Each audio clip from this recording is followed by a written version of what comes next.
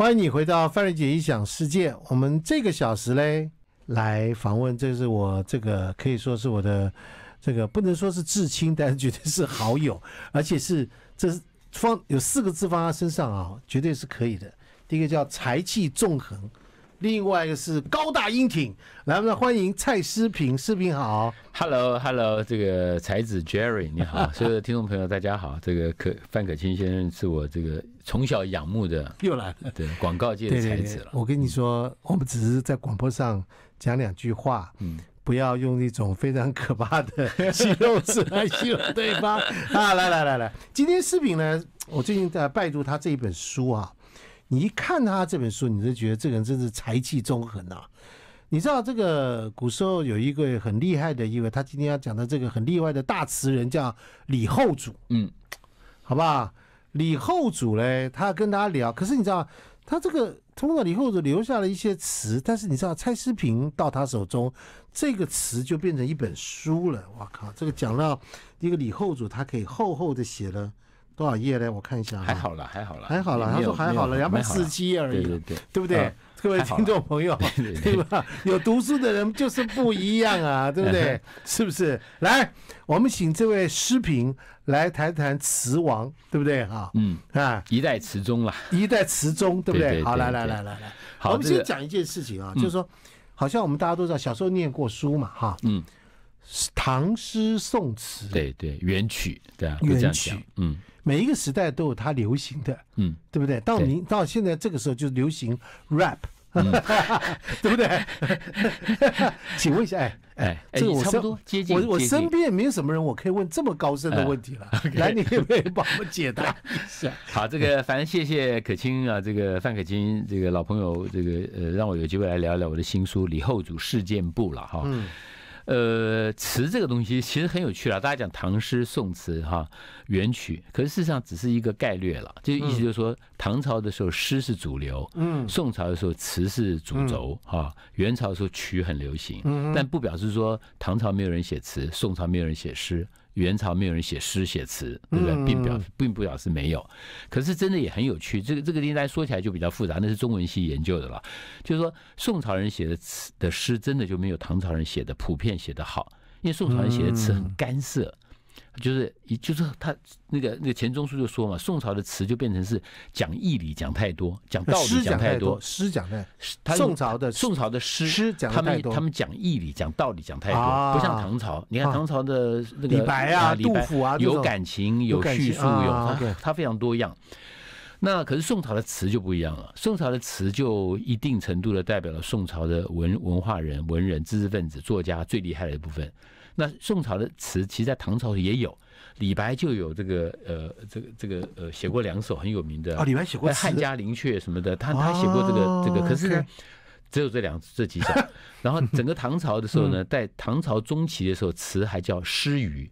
我在书里面有讲，叫诗余，鱼，就是余就是厨余嘛，啊海你要鱼讲厨余你就懂了。懂了懂了，对对就就就是诗剩下来的，哎诗剩下来的，哎，对惜春呢，意思就是说，写诗的人呢，他主力不会写词嘛，那谁在写词呢谁在写词呢？其实就是流行歌曲。所以王国维后来写的《人间词话》里面讲说，李后主为什么重要？李后主是把唐朝以后的词啊，从灵公之词。转变为士大夫之词，灵公是什么灵？灵就一个人字旁一个令，古代的那个乐师啊，乐师哎，啊，就我现在说法就是拿卡西啦，啊。对，就是拿卡西的师傅在那边唱歌，啊，我然后呢，他需要歌词就拿卡西转成茄子蛋，对对对对，转成茄子蛋，转成茄子蛋就对了，然后就文几几几几啊，然后文青然后文青就开始，文青就开始喜欢了，对，就喜欢了。在那之前没有，文文青呢就不会喜欢诗，不会喜欢词，他就觉得词就是什么，大家去唱歌啊。今天比如说，呃，我今天是剪场了哈，我在嗯现场，哎。范可清来了，嗯哎，范可清，你有才气哦，来来嗯来，你今天给我们一首《菩萨蛮》吧。那然后他把《菩萨蛮》的调子弹出来，然后啊你就要根据《菩萨蛮》这个调子呢开始写啊什么什么什么。啊，你写一首以后，他说啊写的不错哦，然后哎蔡志平也来了，蔡志平你也用《菩萨蛮》写一首，什么叫菩萨蛮？菩萨蛮就是那个曲的词的词的词牌，就是那个它因为词是唱的，所以它就像流行歌曲啊，它有一个词牌放在挂在那边，对，然后呢，它调子滴滴都一样啦。啦啦，对对对对就是有一个这样的东西就叫滴滴一个旋律啦啦啦，然后呢有押韵滴滴啦啦啦，你就填五个字你，要填五个字，就这个意思。然后蔡思平真帅，对，然后呢的类似这样，然后呢，因为每一个词牌下面都每个人都可以写，都可以写所李后主也可以写虞美人，范仲淹也可以写对写虞美人。萨蛮啦、对虞美人都是指着这个调子所以原来的时候这些都只是唱歌用的，啊那你想那歌词就不可能是多高雅嘛？那啊文化我懂就是偶尔来这边应个场，那么对不对？就比如说范可清去来来了，然后到了这个就到了酒家，然后酒家那个酒家你说哎呀广告界才子，你帮我唱一首虞美人吧，啊，你就你就写，可你不可能写什么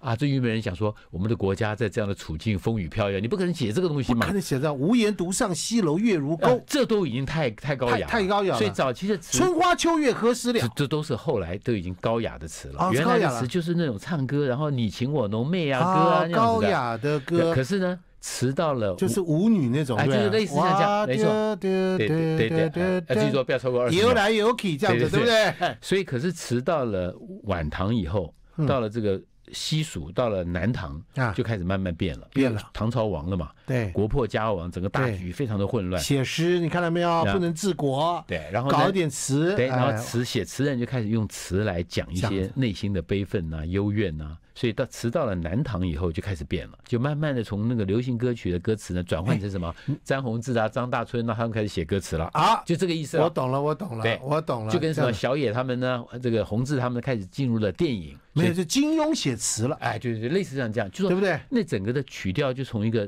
我们台湾的民歌也是这样的应该是梁启超去写武侠小说，嗯也可以金庸去写歌词，对。啊，类似这种，差不多，差不多，差不多这种东西，对对。范可清呢，就开始进入到广告圈，啊，哎，类似像这对对，样的。我一直都对对对。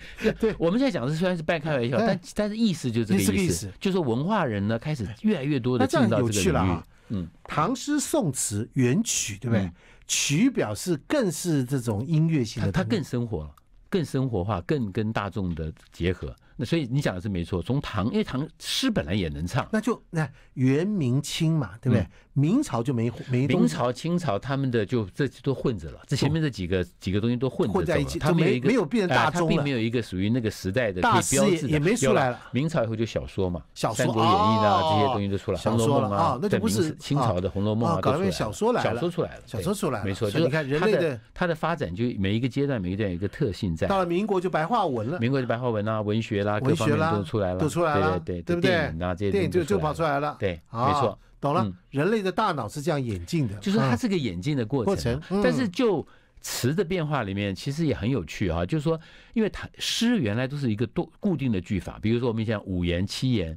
律师嗯，那个句子是固定的。对。可是讲的固定的时候呢，对写对想表达感情来讲，有时候很烦呐、我一定要用七个字、七个字、七个字、七个字、五个字、歌仔戏五个字、不是也是五个字。这样吗？可他可他的表达感情上，他就有一定的，有时候会有限制嘛。有。限制嘛。那他所以他词就变成词是长短句，啊，词可以变成哎，我有时候两个字，有时候三三个字、有时候七个字七个字，啊，对，有时候可以九个字啊，我九二三三这样子可以变化，所以他的他的整个变化就出来了，变化就出来了。所以他的词就变成对于文人来讲，他的表现会更自由。各位听到没有？嗯欢迎收听中广范可清、范瑞杰的异想世界，这么多年来最有水准的一次专访，好不好？因为我们的来宾不一样，对不对？各位一开始就知道，搞了没有？你懂了没有？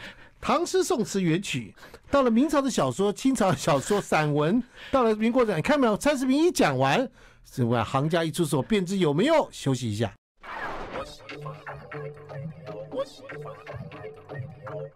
欢迎你回到范瑞杰异想世世界，你一定听过邓丽君的什么“无言独上西楼月如钩”啦，嗯。这些的歌曲。那个歌曲并不是有，你知道填词人是谁吗？这个人已经是几百年前、一千年前的一个作词填词的人，嗯，叫做李后主。这个一代词中南唐最后一个皇帝，南南唐最后一个皇帝，然后当啊了宋朝宋太祖跟宋太宗的俘虏，基本上就是在宋朝的底下，在宋朝底下过了前朝的对对对前朝的一个皇一个国王过了两年多的岁月，岁月就被他俘虏被被毒死了。就被毒死，这就是李后主。对对他本名叫做李煜李煜啊，也可以叫字李重光，也有人叫他李重光。啊，李重光，李煜。显然宋朝的皇帝没有对他很礼遇，宋朝皇帝因为什么？第一个，南唐是南方第一大国，第一大国，它非常在哪里啊？在南唐在在哪里？它大概就在范围现，它首都是现在的南京、啊，南京，江苏啊、浙江这啊，样很有钱的地方。很对有钱的南唐非常，所以为什么北那个宋太祖有一句很有名的话，就是就冲着南唐讲的啊，嗯就是说卧榻之侧，岂容他人酣睡，就是啊，很有名的这句就是话。老大在睡觉，我睡你在旁边打呼，我睡觉的地方，岂容他人酣睡？酣睡就打呼嘛。对对，因为当时南唐就一直跟他希望他不要打他，能够求和，维啊持着一个，拜托老大啊就我我做我做小的，对啊，给你我做小的称臣就好啊，。对，可是宋太祖最后还是讲了一句话，就是嗯卧榻之侧，岂容他人酣睡？意思就是说，你不管怎么样，在我睡觉的床床边，中国人，你在这边一直打呼，哎，视频啊，不觉得中国人最最喜欢搞两个字统一，对不对？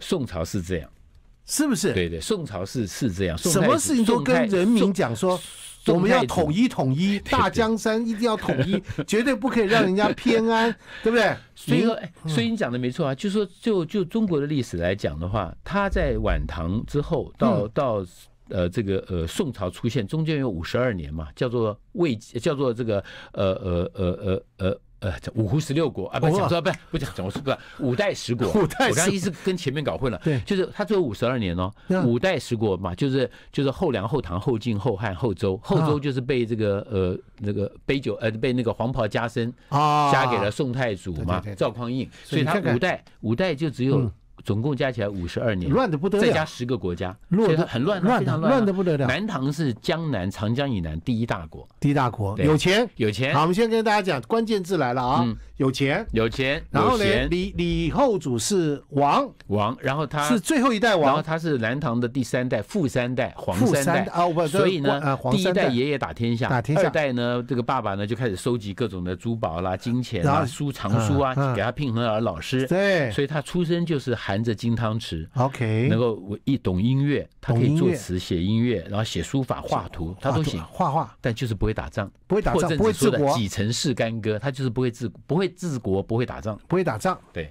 但他就是基本上不是一个庸军了，也不是一个庸，也不他人。很好，人很好，对对百姓也算温和。也温和所以，他死的时候，消息传来，江南的父老就沿街巷弄里面这样哭嘛。那个记载是这样记载，是有人这样就表示大家还是很怀念他。对对。对，有开直播给大家对看了，对不对？对不对？因为 现在的角度就是黄啊，你就是开个直播啊就看到街上街上父老在那边哭哭，对不对？嗯好，所以李后主跟这个蒋蒋蒋中正总统 过世的时候，那个沿街都有在那个跪在那边的，有有有有有有是不是？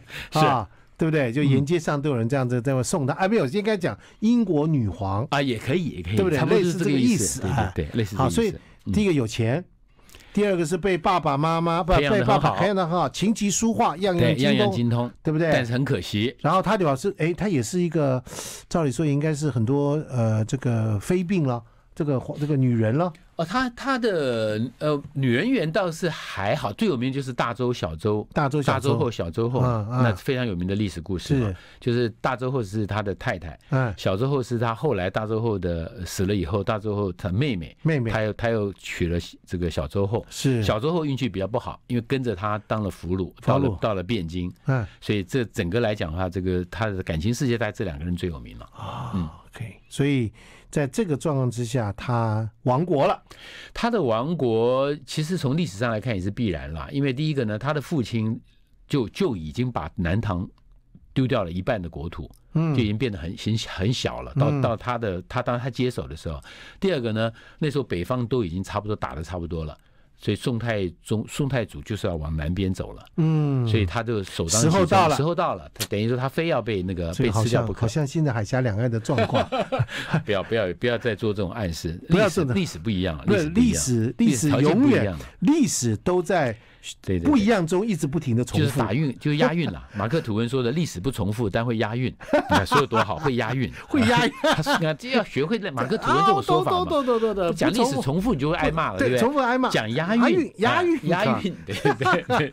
怪不得蔡思敏可以嗯今天押韵押了很多年了，对，搬运蛮好的。但是但我写李后主事件簿最主要目的是想要告诉大家说，这我用事件簿的原因就是有点用日本那个呃。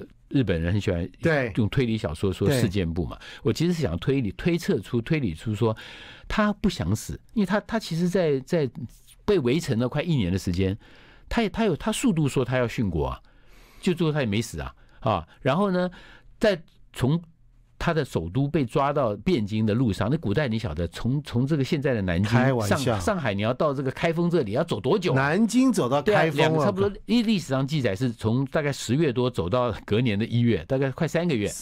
船就是马车啊，慢，要慢慢走嘛。他们走，在路上，他要死也随时可以死啊，他要想办法自杀也是 OK 的、啊，绝食也可以啊，对不对？轿子里面上吊也可以啊，跑出来跳水也可以啊，他都没死。那表示什么？表他都没做 对，表示说他其实他其实是想苟活的。啊。可是问题是我一直想解释的，就是说，那他这样子的人为什么到了汴京那两年多，他他就没办法苟活？宋朝的皇帝也不是一定要杀他，并没有说一定要杀他，因为他是南唐的最后一个国君，对宋朝来说，他有他有宣誓的作用。听说他写了一首词，激怒了他写了好几首词，他到汴京的十几首词呢，都是他造成他一定会死的原因。对对，因为别的皇帝呢被抓了以后到了汴京，我们现在看到的史料，每一个都是小心翼翼啊，言必称吾皇万岁。啊对然后言必称说我已经是大是宋大宋的子民了，对只有他。对只有他没事在那边什么故国呃呃一江春水向东流哈，故国往事不堪回回首首月明中，整天就在讲这个东西。讲这个东西，那皇帝哎就觉得说你你跑到我的国家来了，现在已经变成我宋朝的人，而且每天每天上朝的时候他都还要不懂得歌功颂德，你不德，不歌功颂德，还每天在讲以前的事。对这第一个，第二个呢，他呢也犯了一个很大的错，他在他在这个汴京的时候，整天呢以泪洗面，动不动就哭。哭哎，动不动呢就喝喝醉酒，喝醉酒他说他说这个醉香入吻夷平道嘛，此外不堪行。你看多惨，啊多惨，那可是呢，对宋朝的皇帝来讲哈，就是说，哎，我们大宋才刚开国，对不对？四海升平，你在哭什么哎哭啊你？每天就在那边愁眉苦脸的，在那唱衰我们宋朝的国运，你讲的完全没错。所以对宋朝皇帝来讲的话，早就看你不顺眼，历史永远都会呃押韵，押押韵韵，而不是走步。我们休息一下。都押韵。I like Ealing Sound. I like radio. 欢迎你回到范瑞杰的异想世界。我们今天访问李后主事件部，时隔一千多年之后，台湾第一大才子蔡思平对他的这个解密哈、这个很重要呃啊。你不要，你不要留放这种冷箭，好吧？你讲第一大，我就会挨骂了，好不好？好，没有没有，台湾名列前茅，这样 OK，好吧？哎，好不好要要修前就是名列前茅。台湾第二大，对但是第一名重缺的那个 才子。来来来来来，一千多年前有一个才子跟蔡世平在今天相遇，那这个才子呢叫李后主。嗯，你看我念一段他的词词给大家听啊：春花秋叶何时了？往事知多少？大家都听过嘛？嗯小楼昨夜又东风，故国不堪回首月明中。雕栏玉砌应犹在，只是朱颜改。问君能有几多愁？恰似一江春水向东流你看。是不是？我们一千年后再读它，也没有也不隔，都懂，对不对？是厉害，他他当年这个就是白话文他就是白话，文了，他超级白话白话了，对不对对对，除了用了一两个字比较典故以外，其他就是白话，对不对？而且很浅显，是，所以他就是王国维对，最这个是他进了北宋被俘虏之后这已经是当俘虏了，当俘虏起的，哇，这个俘虏之歌，对不对哈？对。对对，他就你看就很知道，他讲的就是就是思念故国嘛，而且对那个想念呢，你要问他说能君问君能有几多愁啊？恰似一江春水向东流。哎，这个地方第一个是他用了像李白的典故嘛，对就就是那大江东去，不是 大江东去，那苏东坡了啊，。苏东坡啊，对，对不起，这个李白我们就没学问嘛，你看看，抽抽刀断水，水更啊流嘛，啊借酒啊消愁，愁更愁那不。是古龙写的吗？他这个就是他用了李白的诗的典故拿过来转换成词嘛，所以他讲的说太厉害了问君能有几多愁呢？恰似一江春水向东流。真是写得好，一个是这，然后第二个呢就是来了，他的故国在南方，就是在南京、呃上海这边。不堪，回首对，月然后呢。，他在汴京这里，春水向东流，那什么意思？我他的心并不在汴京啊，心还是在往东向东流向他的故乡故国。嗯，这对宋朝皇帝来讲，心里面是会怎么想，对不对？就说你这到现在为止，你还你还在想这个事情，你的你的 DNA 还是不肯改变成变成我宋朝的人，要再教育，要再教育，再教育，送劳改 要，再再教育赐死，然后赐毒酒，对。对不对？然后呢，他在他在南方一直哭，他在他他在那那个北方他在北方就一直哭嘛。好，你看你现在你看刚刚那个呃呃 Jerry 叫我挑了一首《望江南》，啊望江南，望江南，哎，你看这个名字，对对，望着江南，望江南，这是个词牌名。他完了你看，你看他的词写的多好。他说：“多少恨，昨夜梦魂中。哎呀，环视旧时游上苑，上苑就是皇家的花园了哈啊。环视旧时游上苑，车如流水马如龙，哎，马如龙的名字就从这来的，就从这边来的，没错。没错，花月正春风，你看这句子多好。多好，下面一句多少泪，断脸复横移。断脸复横移什么意思？那横移横移就是脸上的皱纹呐、皱纹，然后啊。你你的脸流眼泪的时候断脸嘛，那个那断脸那个眼泪完全在写画面哦跟那个皱纹这样的，就很像那个水在那个田里面那个田埂那样田埂。格子一样，因为他脸上有皱纹，然后横的跟眼泪是往直的流嘛，真的。所以直的跟横的就交叉成像那个一片一片的，所以断脸复横移。下面一句多好，心事莫将活泪说。不要，就你有心事不能够跟着眼泪这样子一起这样子一起说下来，一起诉出来。为什么呢？凤声休向泪始垂，就那个凤声呐、古代那个乐器嘛，啊传统乐器，吹眼流泪的时候也不要吹这个凤声，因为它声音比较比较哀鸣。最后说了，长断更无疑，断肠更无疑嘛，就肠子你更伤心更难过你。看哈，他的对句多少？你看多少恨对多少泪，对，对不对？昨夜梦魂中然后对这个断脸复对，然后，最后是花月正春风，断肠断肠更无。对啊你看他就很美啊，很美很美。而且这个句子基本上都是现在我们在读，只要你认得了这个中文字，你就几乎都懂。对这是他最厉害的地方，就是浅显的文字带出深厚的感情，这是我们讲的文学创作最厉害的地方最厉害的地方对，就是他这样子看留白留的很厉害，对，浅显。一直到今天也只有茄子蛋做得到，茄子蛋做得到，或者在广告圈里面的范可清他做得到。谢谢你嗯，对不对？你看这个这个这个东西写的多厉害，真的。好了，我们来讲一件事哈。嗯，李后主活了几岁？四十二岁，他他四十二岁那一年生日被赐酒嘛，因为就是生日那一天生日那天皇帝赐酒给他，他非得喝不可。他非得不喝。我在书里面有讲啊，古代各位要知道，皇帝赐酒这件事情啊，赐东西给你这件事情，真的是压力很大。你因为因为你不晓得皇帝给你的是到底是存心是好还是坏。对历史上有记载啊，那个明朝不是明太明太祖杀功臣吗？对，其中有一个大将叫徐达，嗯，他打天下的武将啊。对啊，徐达呢，后来后来身上长了一个蛆，他早年受伤，那个那个复旧伤复发，复发以后呢，皇帝知道了。你晓得，古代我跟我们现在想法是一样的，你身上有伤的时候不可以吃海鲜。第一个，海鲜会发嘛；对，第二个是不能吃鹅，鹅也不能鹅肉很毒。毒 就呢，宋太明太祖呢就叫人蒸了一只肥鹅，蒸哦，蒸了一只，不是真的假的，是蒸蒸煮的蒸，蒸馒头的蒸蒸，了一只肥鹅送到他家里，说皇帝赐给他鹅，鹅。那你想想看，徐达当然知道，说我身上明明有伤，然后你要我吃鹅，鹅，那就是要我对，而且呢。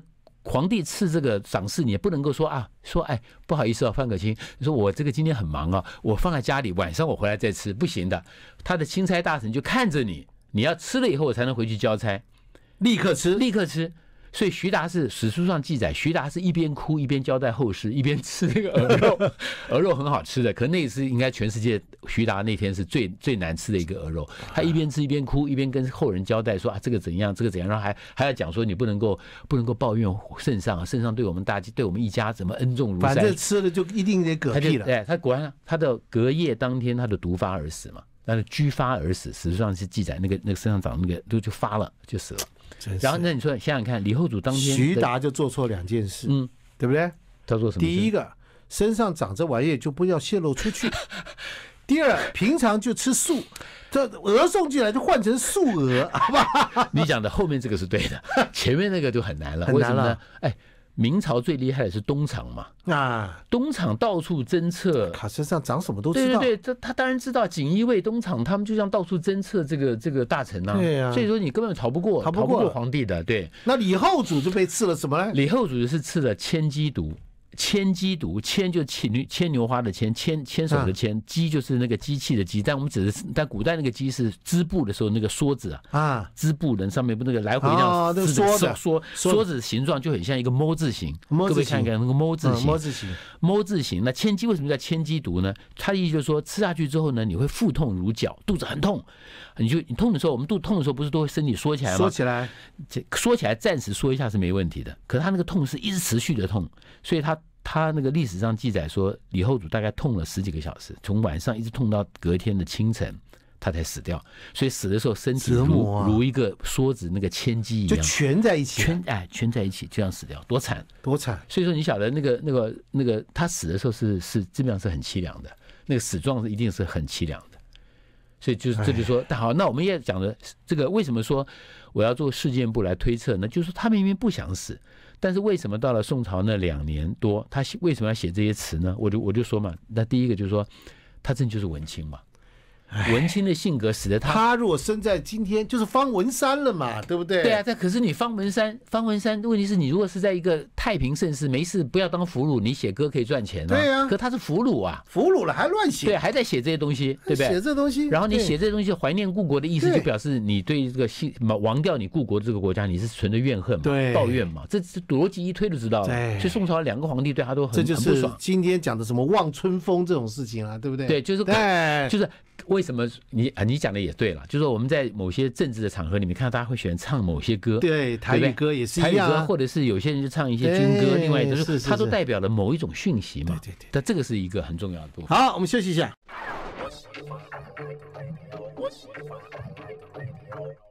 欢迎你回到范瑞杰异想世界。你看没有？这个听蔡诗平讲历史，果然就是跟人家不一样，对不对？他这个富学问丰富。哎，我好像看到这个历史上这个记载说，这个李煜好像他有一个眼睛是、对，他他的就是眼睛双瞳，项羽是两只眼睛，李煜是一只眼睛。双瞳意思就是他的瞳孔有有双层，这个这哦这其实是一种 DNA 的，就是身体的那种变异了。哦对对，他变异是他他他有一只眼两睛。有一个眼睛是双双瞳，对，就是他眼睛有瞳孔那边有，它是双层的。你可以，想象说嗯，李后主他身为一个才子，对不对？嗯，家里从小的优渥的环境，对，是，然后琴棋书画，嗯对不对？他都行。他都行，而且史史史书上还记载他应该长得不错，长得不错，对很体面然后呢，很体面，对人又文，人品又很好，嗯就是呢爱哭，那爱哭也没办法了，他就没有像勾践复国那样子，对不对？哎，他也没办法勾践卧薪 尝胆。对不对？你还去还去闻那个王 皇上的这个排泄物啊，对不对？是不是？不错，讲的很好，没错吧所以我在说，我在书里面也讲，就是其实李那个苏东坡就嘲笑他嘛，苏东坡就说。因为他写了一个破阵子嘛，嗯。那个一首词叫破阵，他意思就是说三三十年呃四十年家国呃四十年家家家国呃呃三千里地那个那个河那个山河嘛哈，然后他说他只等，然后最后有一句话说几曾是干戈，就是他不他根本不知从小没有不会打仗嘛，嗯不会打仗，然后下一对下一阙呢，他讲的是说啊，他的那个那个整个的那个生活的那个那个形态，最后呢，国家要被灭亡了，哈，仓皇辞庙嘛，他在那个仓最最是仓皇辞庙日这句话也常常被老共拿来用，就是蒋介石在上南京输的走的时候仓皇最是仓皇辞庙日，就辞那个太庙嘛，祖宗太庙，然后呢，就他最后来就跟那个。慈禧太后呃八国联军攻他的时候，他就把他跑了。然后呢，他他那句话说“教坊游奏别离歌”，就说你要你要跟那个太庙告辞，就等于要当俘虏要被抓走的时候呢，教坊游奏别离歌，就你的宫廷乐队呢还在那边演奏，就演奏说送离别歌嘛，嗯要啊送行我的以前的皇帝了。最后一句他说“挥垂泪对宫娥”，就这句话被苏东坡骂了。啊，苏东坡说：“你有没有出息啊？你对不起国家，把国家亡了，对不对？嗯你应该是要愧对你的人民。”百姓哎，离开的时候应该是挥泪对你的人民啊。对啊就怎么对宫娥呢？对那些宫女舍不得那些宫女，然后然后跟他们一一这样这样握手道别，对不对？苏东坡就骂他没出息。那我就说了，我说苏东坡啊，嗯你骂错人了，嗯，他就是李后主嘛，对嘛，他就是不会打仗，个性温和，然后然后他就不是项羽啊，对不对？那项羽哇，那就是豪气了。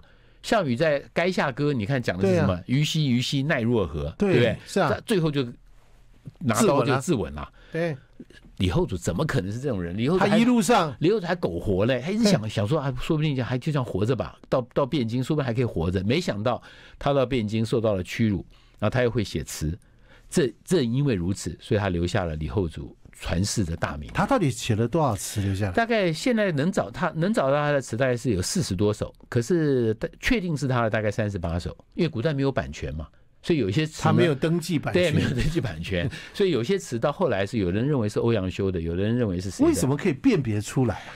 好神奇啊！他这个辨别多少考证？比如说你在某一些人的的的文章里面提过这首词，那他是最早的，那就有可能是他写的。他们都这样推敲嘛，嗯用旁证的方式来来慢慢推敲读这要读。多少书啊？对啊，可是古代人是这样做的啊。对，古代读多少书啊？很多人考证是这样做的，所以这是为什么说他大概只有三十八首是比较确定是他，那可是最好的十几首、十一二首就是在汴京写的，那充满了悲痛、一个人啊伤恨。一定要悲痛啊！哎，要伤痕。你很简单啊，恋爱的人会写诗，对不对？对这诗都很肤浅呐、失失恋的人，嗯哇，写起诗来，写起文章就像哲学家了。哲学家了，对不对？与天地同悲，对不对？写诗，这就天地同悲。恋爱的人都像白痴一样，每天咚咚跳跳、蹦蹦跳跳的。是对，在失恋人就完全不同。所以这就是为什么痛苦让李后主成为伟大的词人嘛。也就是说，如果是这个叫造就他这么一代词宗，也要谢谢我们的宋朝的拉大老板，哎，也是啊，对不对？对啊。我就对啊如我们现在在想嘛，我我在写这个李后主事件簿的时候，我都常常会这样子，呃在文章中会提醒读者，如果他自殉国了，没了。没了，他如果没殉国，到了这个汴京开开心心过日子，对也没了，没了那就是流产嘛，乐不思蜀，对不对？也没了。然后呢，他如果到那边呢写出来词呢还是很烂，就跟他以前当皇帝的时候差不多，那也没了。那就是会写词的李后主就这样子了。可他偏偏写这那十几首词写到简直是扯人心肺。不是他扯人心肺，才会招致杀身之祸。那没错，没错但是因为这样子而你看而遭了杀杀身之祸孙。立人、嗯，张学良，就既没写词，也没写书，也没写诗，所以还可以还可以一直活活到最后老了，终老活到比关他的人久，久就熬出头了。熬出头了，对不对？对，是不是这样子我们又？在押韵了，我们又在押韵了。我们在押韵，没错吧？所以各位听众朋友，你要了解啊，是啊要想办法活活下去。下来的时候不要乱写，我活得比对付我的人，比害比比迫害我的人，比放弃我的人活得久，千万千万不要开直播，嗯，不要写脸书，要写点开心，写点自己很笨、很蠢，对不对？嗯，就好了。然后等到他关你的人，等到他走了哎，走了，你出你就出头了，你就出头了你就可以出写出东西来痛骂他。弄死他，对不对对？对，我们又在押韵了，对不对？我们休息一下。I like Ealing Sound. I like 欢迎你回到范瑞杰异想世界。我们今天其实开心跟思平聊天，你知道，有学问的人就这样聊。哎，思平像你这么有这个肚子有料的人啊，这个啊，这个嗯对你身边的朋友来讲，对不对哈？嗯大家应该是这个。呃，跟你讲讲话啦，什么都干嘛，都是呃学到很多东西。你会告诉我，你这学问是哪来的啊？总总不会是偷抄袭来的，我知道不知道总不会是抄袭来的你？呃，学问论文可以抄袭，学问怎么怎么抄袭啊？你怎么样？你平常怎么读书嘛？你告诉我。就是没事就喜欢读读书嘛。这个以前、以前这个从年轻的时候就养成这个习惯。我我年轻的时候就很喜欢阅读文学，那只是我自己在高中的时候很清楚的知道说我想走法政，所以我我不想走文学的路。可是文学就变成阅读的习惯了。啊，你跟罗大佑一样嘛，嗯，对不对？就他他走向音乐，音乐不是他他不是他不是对对，他原来走医嘛，他后来走到医嘛，对不对对？但我的兴趣是，但我的文学一直保持着阅读啦，所以我觉得这个对我来讲，也也许可以跟大所有朋友分享，就是大家最大好处是我们人生在很早的时候就开始出现了斜杠的可能。啊，一方面我的社会科学、法政我很有兴趣，那可是呢，一方面我文学的东西我一直保持着。所以我后来我写评论的时候，我都发现到都可以用得到。比如，就是说写评论的时候，你会 比较容易笔锋带感情了。对写评论也是带一点抒情的味道。是是是，那写抒情的东西又带一点理性的分析，是是是那这是好处在这了。对。对，我为什么这样讲呢？是因为那个他的这个太太啊，苏伟林苏伟啊，他以前跟我们讲，他说范大哥，你不要觉得我嫁了一个才子，我基本上我嫁了一个书虫。他呢搬家的时候呢，我们家到处都是他的书，嗯，满满的书。书房是书书，厨房是书，卧房是书，客厅是书，阁楼是书，楼梯间是书，都是书啊，所以后来就清啊，对不对？我后来跟二手书店变得很好的朋友是这个是不原因。是对 对，对不 对？所以你看，这个一个人有学问，这是没有不是没有道理的。你看，嗯这今天我们讲的这个是李后主的这个事件簿嘛，嗯是不是哈？你他对你到底有什么样的特殊的情感呢？我觉得在他身上，我一直我一直觉得文青是一个很有意意思的名词哈，就是说我们讲文青的时候，其实就是一个人就是一辈子都是文青了。他他如果真的是一个文青，他不管做什么行业，他都会流露一点文青的那个那个本质啊。比如说你也是文青喽？我我我我想我是个老文青，老灵魂嘛，不管他一辈子你刚说嘛一辈子都是一个文青，就是很难改了。那我觉得李后主就很明显，就是他如果能够把文青的本质给抛掉的话，他其实是可以在宋朝活下去的。假设李后主写的这些东西，宋老板嗯，心胸宽大，就让他一直写，嗯往下会是什么？你觉得？往下一直写下去的话，那就会变成宋朝的这些士大夫可能都会把李后主当成偶像。那你晓得，对皇帝来说是一个威胁。对，又来了，对？是个威胁，的确是个威胁。事实上，后来的历史也证明了，说了说李后主在汴京的那十几首词，把词转换到了一个士大夫之词。